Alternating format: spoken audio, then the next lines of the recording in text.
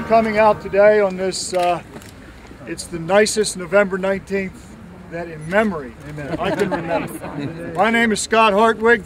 I'm the president of the Lincoln Fellowship of Pennsylvania. Today, we gather here to commemorate a great struggle. The men who here gave their lives, and a president who gave such meaning to their sacrifice. 147 years ago, men fought and died here in our civil, American Civil War. Around us is the Soldiers National Cemetery, a place of such historic magnitude. Set aside as a final resting place for those who fell at Gettysburg, it serves today as a reminder that freedom comes at a high cost. Although the cemetery was initially established for those who died here at Gettysburg as a national cemetery, it contains the remains of soldiers who served in American conflicts up through Vietnam. Today, it is the final resting place for over 5,000 dead, including 3,512 Union soldiers who died at Gettysburg. Among that number are 979 who are completely unknown. On November 19, 1863, President Abraham Lincoln came here and delivered his famous Gettysburg Address. With those brief remarks, he not only honored the fallen, he also consoled a nation grieving for its dead sons, and he affirmed America's commitment to a new birth of freedom. In the annals of history, we cannot find a more cherished address, not only for us Americans, but also for all mankind. Before us stands the Soldiers National Monument, sitting at the axis of the burial arc. Around its base, we see its four allegorical figures, personifying war, history, peace, and plenty.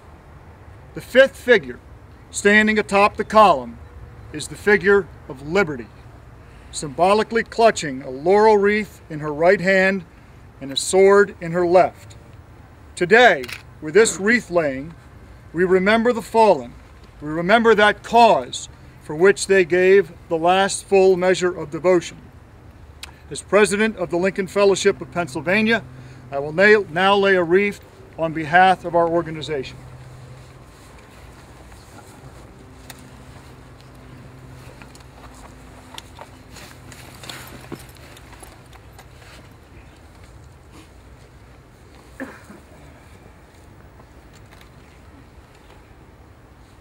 At this time, I would like to invite Doug McMillan to lay a wreath on behalf of the sons of Union veterans of the Civil War.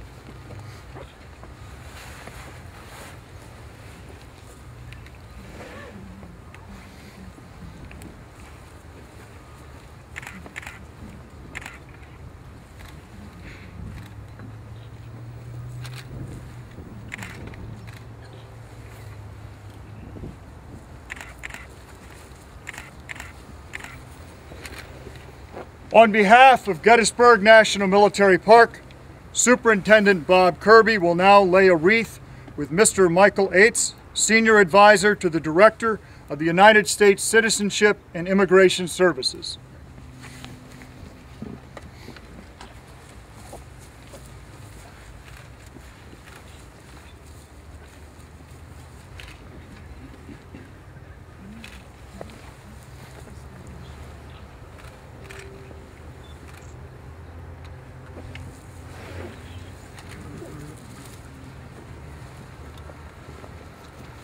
Sam Donaldson of ABC News and Janet Riggs, president of Gettysburg College, will now lay a wreath on behalf of the United States of America.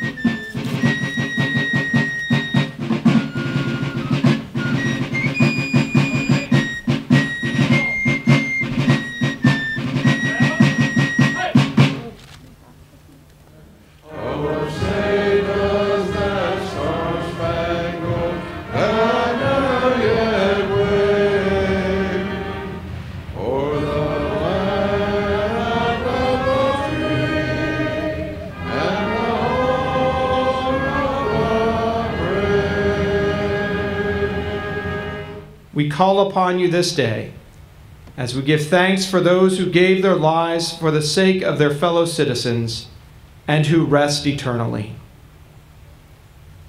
Center our hearts and minds now and help us once again to hear and contemplate with renewed interest the words of President Abraham Lincoln and their significance for us in our moment in your history. Amen. Today we celebrate Lincoln on the very day he delivered a few appropriate remarks here in Gettysburg to dedicate this Soldiers National Cemetery. Today's keynote speaker is Sam Donaldson. His 42-year career with ABC News includes serving as ABC's chief White House correspondent, as well as hosting and moderating such news programs as World News Sunday, Issues and Answers, This Week, Primetime Live, and Politics Live. Over the years, Mr. Donaldson has received numerous awards and recognitions, including Broadcaster of the Year, Best White House Correspondent, three Peabody Awards, and four Emmys. Mr. Donaldson's determined search for answers and his reputation for asking pressing and tough questions made him a household name and one of America's most influential journalists. Please join me in giving a good Gettysburg welcome to Mr. Sam Donaldson.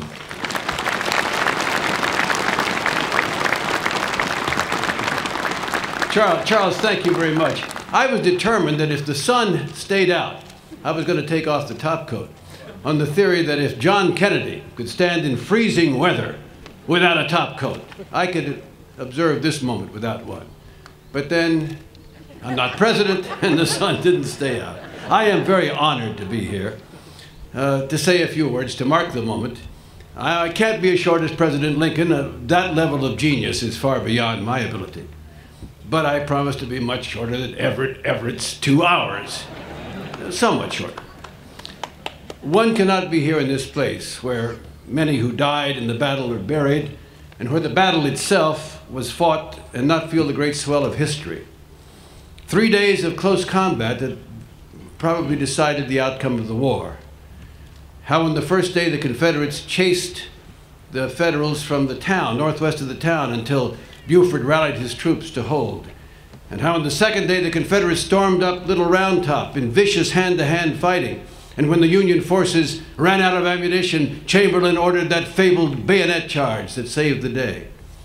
But I think it's the third day of the battle that has captured the imagination of history. Walk, walk over not too far from here to the grove of trees and the stone wall on Cemetery Ridge. Look across the gentle rolling valley uh, to Seminary Ridge, and you could almost see in your mind's eye Lee as he decided to throw the dice on that third day and charge the Union center. And split Meade's line, roll up the flanks, clear road to Washington and the end of the war. And there's Longstreet, convinced the charge will fail, but good soldier that he was, determined to carry it out to the best of his ability on his commanding general's orders and then Pickett's men marching in closed ranks into the Union cannon and muskets.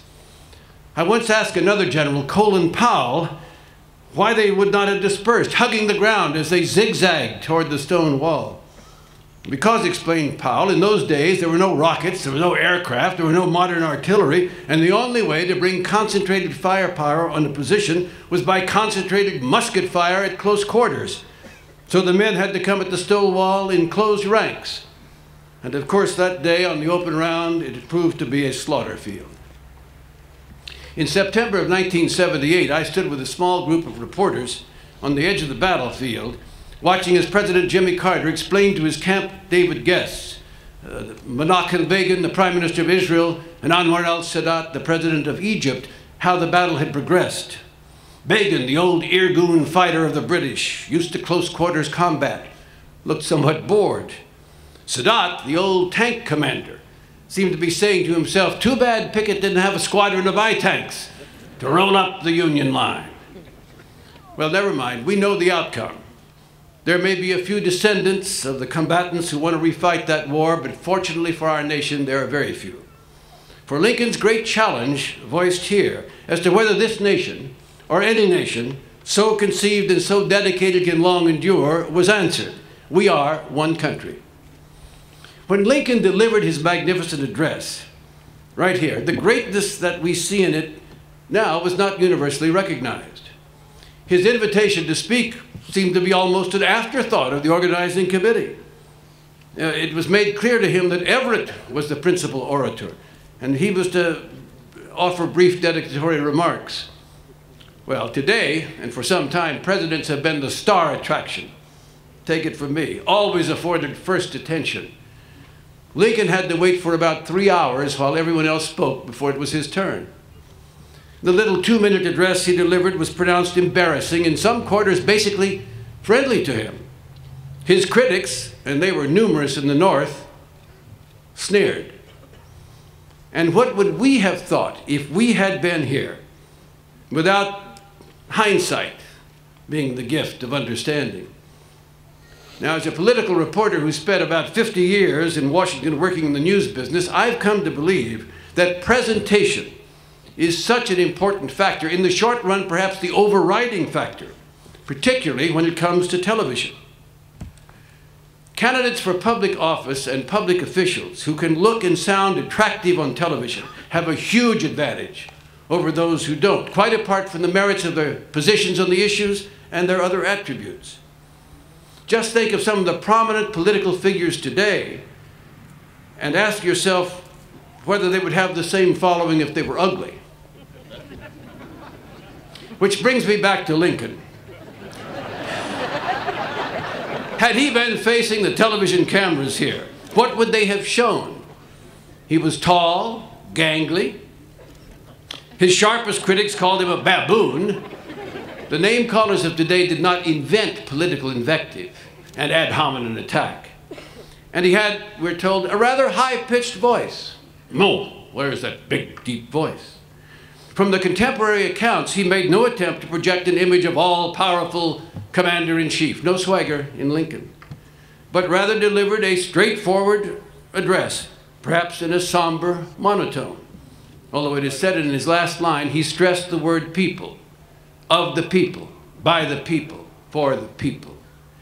The strength was in the power of the profound thoughts conveyed by the simple words, not in the tone and style of his delivery. And if the cable channel talking heads back then had cut loose on Lincoln after his speech, denouncing, belittling, inciting anti government demonstrations, why, it might have made the violent draft riots earlier in the summer in New York City seem ordinary.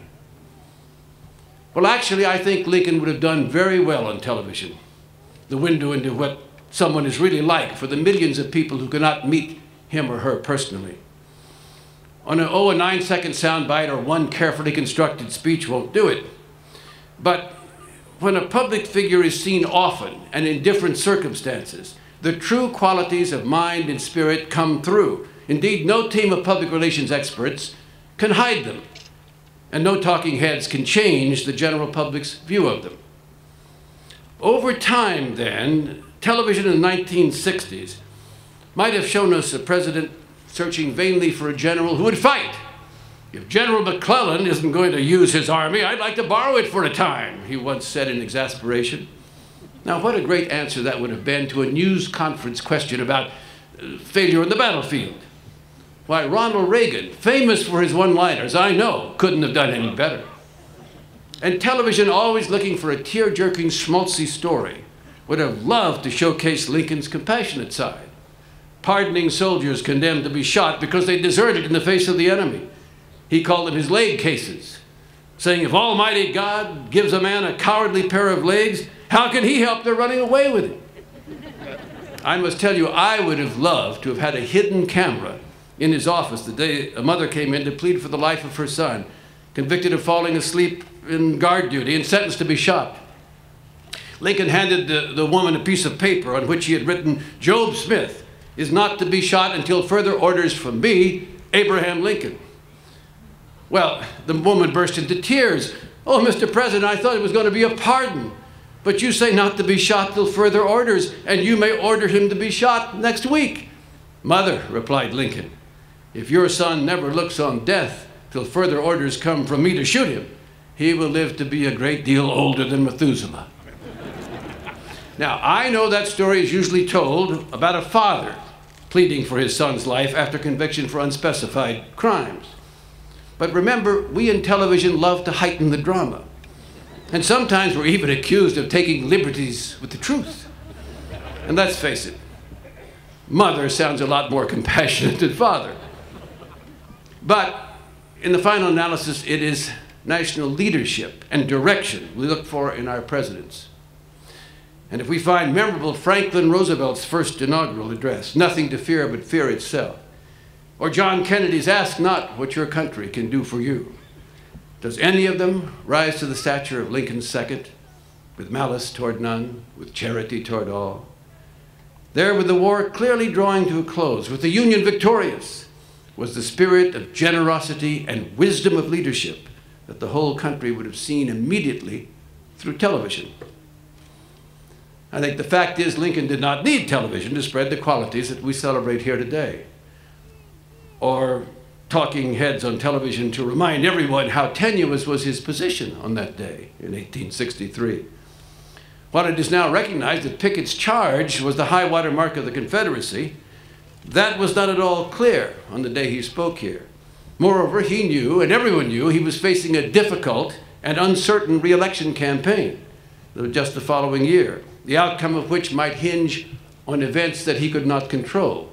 Presidents since Lincoln have discovered that. If the end brings me out all right, what is said against me won't mount to anything. But if the end brings me out wrong, then ten angels swearing I was right would make no difference, Lincoln once observed. A thought still true for our leaders today. Throughout it all, Abraham Lincoln never wavered and never broke. His tactics might change, but not his goal. In the end, brought him out magnificently. And so we celebrate his life and today the speech that many consider the finest in all American history, a speech in which he declared that new birth of freedom for our country. Lincoln told his audience that the world will little note and long remember what we say here. But in his eulogy of Lincoln, Senator Charles Sumner begged to differ, declaring that the world noted at once what he said and will never cease to remember it. Concluded Sumner, the battle itself was less important than the speech. Thank you.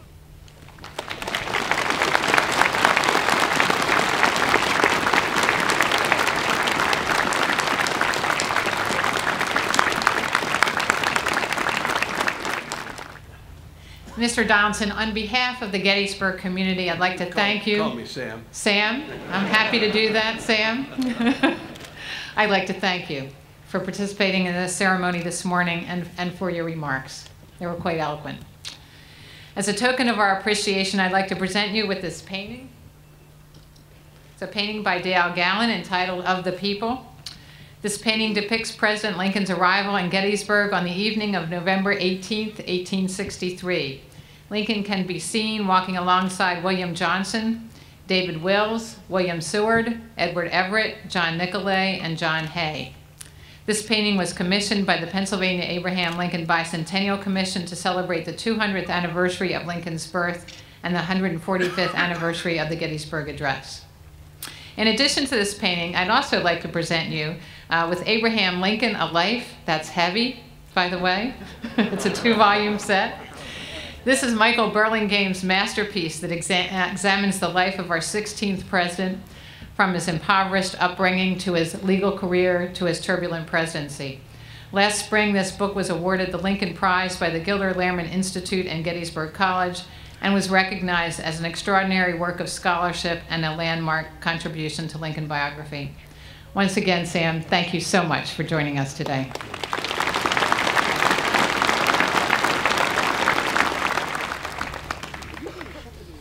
Ladies and gentlemen, the 16th President of the United States of America, Mr. Abraham Lincoln.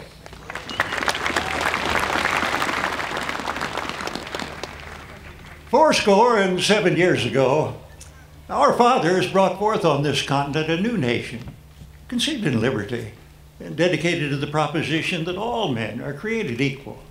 Now we are engaged in a great civil war, testing whether that nation or any nation so conceived and so dedicated can long endure. We are met on a great battlefield of that war. We have come to dedicate a portion of that field as a final resting place for those who here gave their lives that that nation might live. It is altogether fitting and proper that we should do this. But in a larger sense, we cannot dedicate. We cannot consecrate. We cannot hallow this ground. The brave men, living and dead, who struggled here, have consecrated it far above our poor power to add or detract. The world will little note nor long remember what we say here, but it can never forget what they did here. It is for us, the living, rather to be dedicated here to the unfinished work which they who fought here have thus far so nobly advanced. It is rather for us to be here dedicated to the great task remaining before us. That from these honored dead we take increased devotion to that cause for which they gave the last full measure of devotion.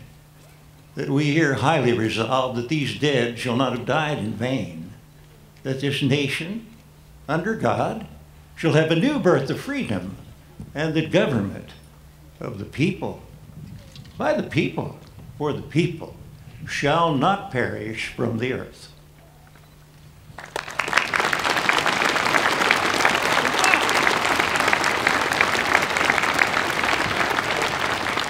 Mine eyes have seen the glory of the coming of the Lord. He is trampling out the vintage where the grapes of wrath are stored. He hath loosed the fateful lightning of his terrible swift sword. His truth is marching on. Glory, glory, hallelujah. Glory, glory, hallelujah. Glory, glory, hallelujah. Is marching on. Glory, glory, hallelujah. Glory, glory, hallelujah. Glory, glory, hallelujah. His truth is marching on. In the beauty of the lilies, Christ was born across the sea with a glory in his bosom that transfigures you and me. As he died to make men holy, let us live to make men free while God is marching on. Glory, glory, hallelujah. His truth is marching on.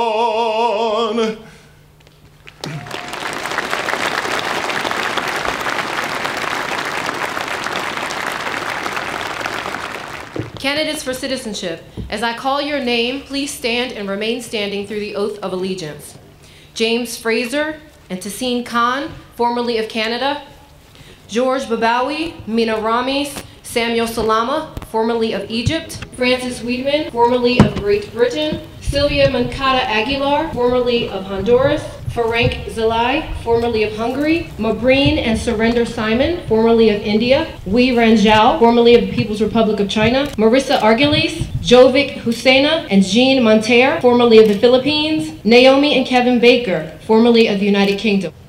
There is no more fitting place for us to conduct this ceremony, not only because this ground is hallowed by the sacrifice of all the brave soldiers who fought for the United States of America, but because Many of those soldiers had not been born here. They came to this country and made it their home, just as you have come here and made it your home. And I ask that you dedicate yourselves to this country just as they did. Renounce and abjure all allegiance and fidelity to any foreign prince, potentate, state or sovereignty, of whom or which, I have heretofore been a subject or citizen. That I will support and defend the Constitution and laws of the United States of America against all enemies, foreign and domestic. That I will bear true faith and allegiance to the same.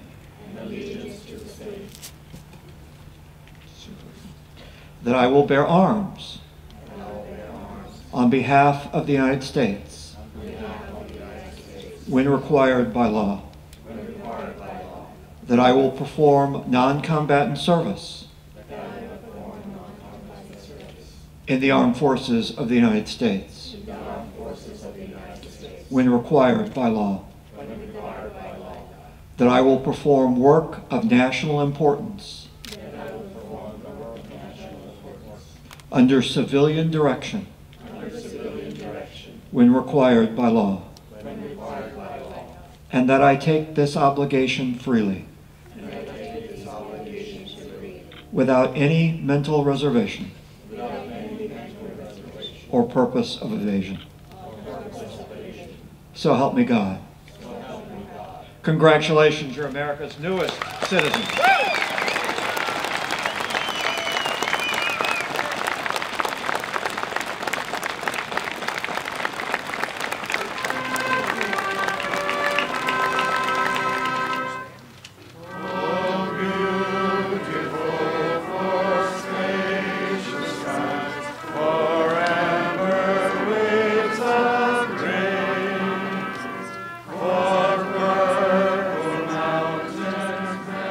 It's an honor and a privilege to call you a fellow citizen of the United States of America. This is now officially your country, your home to protect, to defend, and to serve through active and engaged citizenship.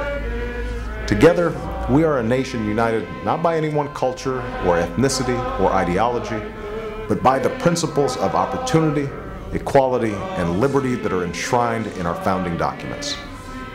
Today marks a very special day in your life. You've traveled a long path to get here. You've sworn a solemn oath to this country and now have all the rights of citizenship. Always remember that in America, no dream is impossible. Like the millions of immigrants who have come before you, you have the opportunity to enrich this country through your contributions to civic society, business, culture, and your community. You can help write the next great chapter in our American story. And together, we can keep the beacon that is America burning bright for all the world to see. I am proud to welcome you as a new citizen of this country. May God bless you, and may God continue to bless the United States of America. We give thanks for our time together this day, for the witness and service of President Abraham Lincoln, and for the sacrifice of those whose final resting place surrounds us. Help us to dedicate our lives to those unfinished tasks which remain before us as one people. Amen.